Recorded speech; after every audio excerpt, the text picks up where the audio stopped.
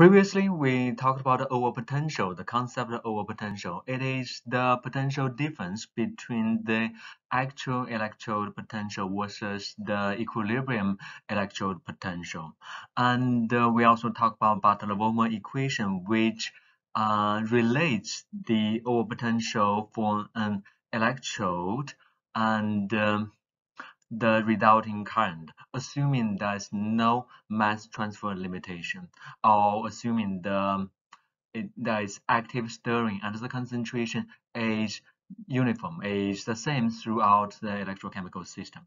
However, in practice, once elect an electrochemical reaction starts, the active redox species could be the oxidized species, could be the reduced species, the concentration may change and as a result is often not uniform not uniform for the active species. Because of that as a result quite often we would have a over potential a potential difference between um, actual and equilibrium due to this concentration gradient or concentration variation. Let's look at this example. For example we have copper electrode and uh, in the solution there's copper ion and the cathodic reaction of course would be copper 2 plus ion combined with two electrons to form copper metal okay? And uh, the copper 2 plus ion concentration at the electrode surface is defined as Cs while the copper 2 plus ion in the solution deep within the solution. Or we say sometimes say in the bulk of the solution would be C0 okay? And uh, when you think of a cathodic reaction and when you think of the how does the copper 2 plus ion concentration change with respect to x? X for location or distance into the electrolyte from the copper electrode. So we put zero at the copper electrode and X increase as we get deeper and deeper into the electrolyte solution. Okay, and uh, if we are considering cathodic reaction, which means reduction, going from copper 2 plus ion to copper metal, as you can imagine, initially within the solution, everything concentration would be C0 or the bulk concentration, but as soon as a cathodic bias uh, or, or potential is applied, the copper 2 plus ion near the copper electrode will start to be consumed as copper 2 plus ion combine with electron to form copper metal. So as a result, near the electrode surface, this copper 2 plus ion concentration would be relatively lower than within the bulk. How much lower? Depends on the current. If we don't have active stirring, if we are considering the actual condition, okay? And sometimes under certain condition, you may find the surface concentration Cs for copper 2 plus ion at the electrode maybe start from zero and uh, it increases gradually and reaches the bulk value deep in the solution. Okay, this would be the cathodic situation, a reduction situation. For copper 2 plus ion, if you consider copper 2 plus ion concentration near the surface, it will be lower because copper 2 plus ion is consumed for this reduction half cell or cathodic half cell reaction. On the other hand, if we consider anodic reaction, which is an oxidation half cell reaction going from copper metal release electron to form copper 2 plus okay going from copper metal release electron to form copper 2 plus ion. And again the surface concentration would be Cs and the bulk solution concentration will be C0. And in this case, let's assume the deep in the bulk, the concentration of copper 2 plus ion is relatively low. So if we still consider the concentration of copper 2 plus ion with respect to x on distance into the electrolyte, okay, because we are generating more copper 2 ion right at the interface, right at the interface between the copper electrode and uh, the electrolyte, you may find the concentration would be higher at the surface. CS would be higher compared with the bulk in the solution, okay, or C0.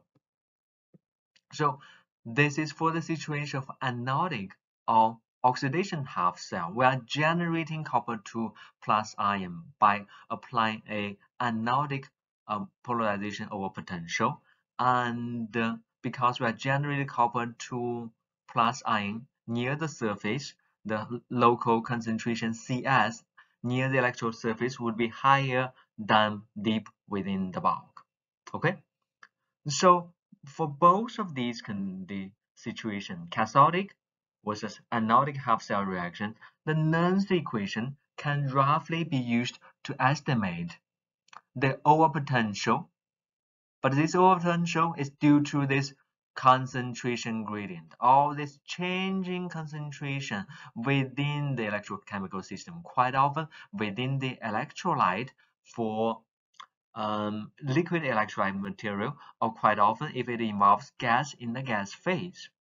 For electroactive species, you have to the concentration gradient has to be for the electroactive species. It cannot be for other inert ions or solvent molecules. It has to be for electrochemically active species. For example in this case copper 2 plus ion.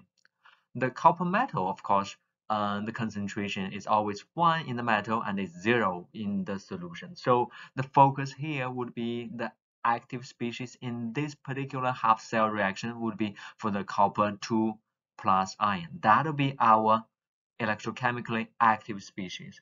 And the concentration changes from location to location and the resulting overpotential can be estimated by Nernst equation and the concentration gradient is quite often between right at the interface of the electrode electrolyte and deep in the electrochemical system, quite often in the electrolyte, for liquid electrolyte, or in the gas phase. Okay, so if for such a simplified or generalized electrochemical reaction from OX to combine with N electron to form reduced species. OX is for oxidized species, RED is for reduced species. For such a simple uh, electrochemical uh, reaction, if we are focusing on an active species, such as, for example, oxidized species. Uh, just to give an example, mm, using oxidized species as the electrochemically active species. Then, if the concentration at the surface is CS active, and then the concentration in the bulk is C0, similarly C0 or C naught active.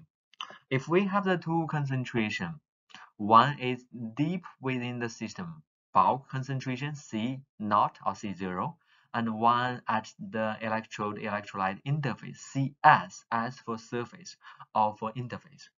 Okay, if we know these two concentration, the concentration over potential, the concentration but over potential for that particular electrode half cell reaction would be Eta can be estimated by Nernst equation. I said estimate. It's not exact, but it can be reasonably estimated by RTNF. R, gas constant, T, absolute temperature, N, the number of electrons transferred for that specific electrode or half cell reaction. And for this particular copper 2 plus ion into copper metal, N would be 2 f of course would be Faraday constant times natural log of the ratio between surface concentration to bulk concentration. The ratio between surface concentration to bulk concentration. this would give us the electrode concentration over potential. It's an over potential, which means the difference uh, between uh, different regions, but it's coming from concentration and it's for a particular electrode. Okay. And this eta or concentration over potential, as you see, can be positive or negative. If, as you see in this equation, the surface concentration is greater than the bulk concentration, it will be positive. The concentration or potential would be positive. On the other hand, if the surface concentration is lower than the bulk concentration, the concentration or potential would be negative. So that's the first note. Another note is the surface concentration. Quite often, the CS active active species can is often unknown. It's often unknown. C naught or C zero is quite often the concentration is known because that's the concentration you make the electrochemical system which you specified. Okay, but for the surface concentration, it's often unknown.